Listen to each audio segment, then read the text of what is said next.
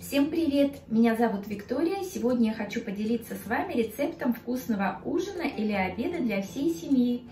Из обычных продуктов просто беру фарш, картофель и ужин на скорую руку готов.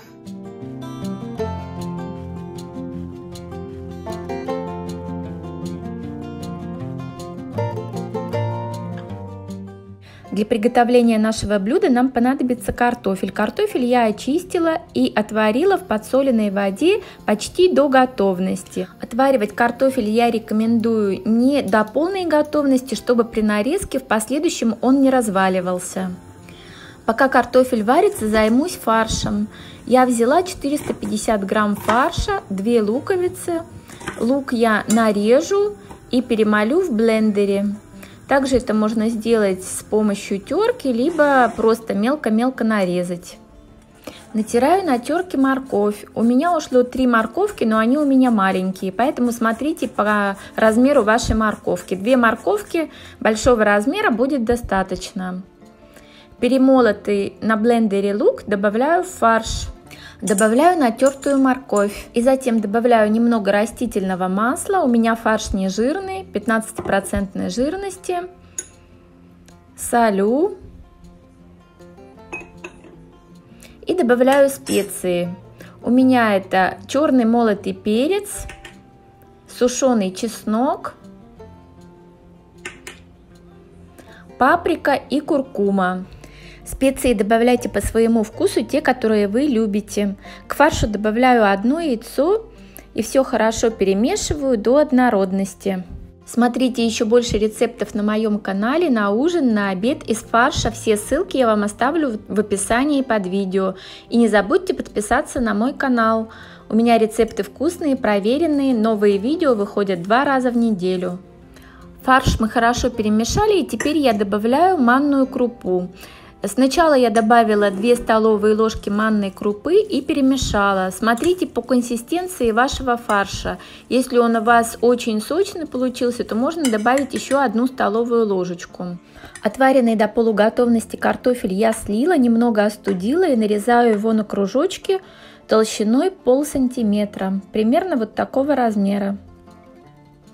Подготовленное жаропрочное блюдо выкладываю на нарезанные кусочки картофеля по всей поверхности дна.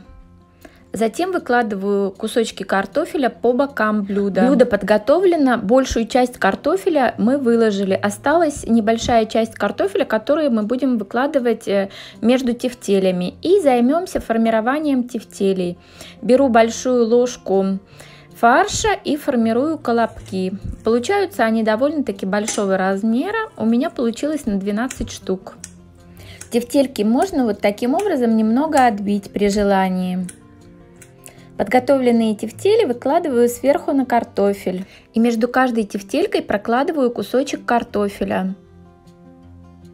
Получается очень оригинально, красиво и блюдо смотрится совсем по-другому. Очень рекомендую вам попробовать э, оформить блюдо таким образом. В это время можно уже поставить разогреваться духовку на 180 градусов. Приготовим соус. У меня уже готовое томатное пюре. Можно приготовить самим из свежих помидоров. В 300 мл пюре добавляю 2 зубчика чеснока, немного кипятка, солю и хорошо перемешиваю. Томатное пюре можно заменить томатным соусом. Подготовленным соусом сверху заливаю тефтели.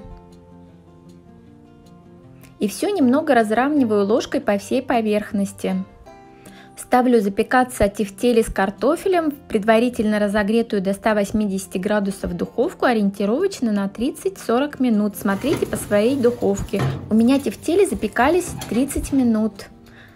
Так как картофель мы уже запекаем практически готовый и фарш запекается очень быстро, поэтому все готовится очень быстро. Ужин готов, подаем его к столу.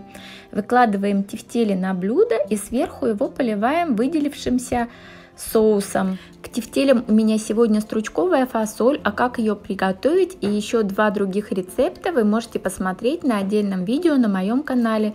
Ссылки я вам оставлю в описании. Если идея такого ужина вам понравилась, то напишите мне ваши комментарии, поставьте лайк или хотя бы смайлик или спасибо, мне будет очень приятно. Я всем желаю хорошего настроения, приятного аппетита и уже жду вас в новых видео с новыми рецептами.